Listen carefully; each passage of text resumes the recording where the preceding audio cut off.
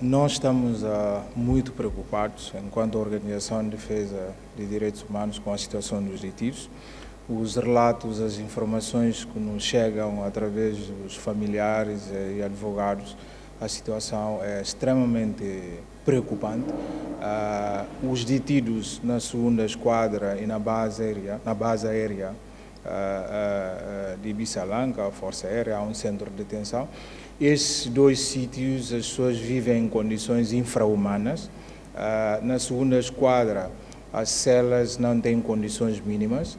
Uh, praticamente todos os detidos já têm problemas de saúde, já foram evacuados, foram internados, vários detidos foram internados no Hospital Nacional nesse momento.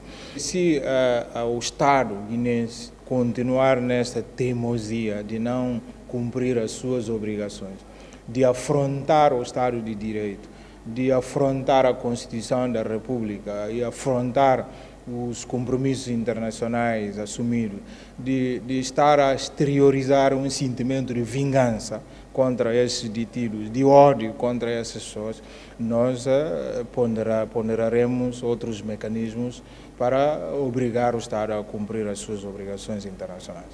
Como por exemplo? Uh, por exemplo, nós podemos, nós podemos avançar uma queixa contra o Estado no, no Tribunal de, Justiça uh, da CDAO, porque uh, esses, esses, comportamentos consubstanciam uma violação dos direitos humanos.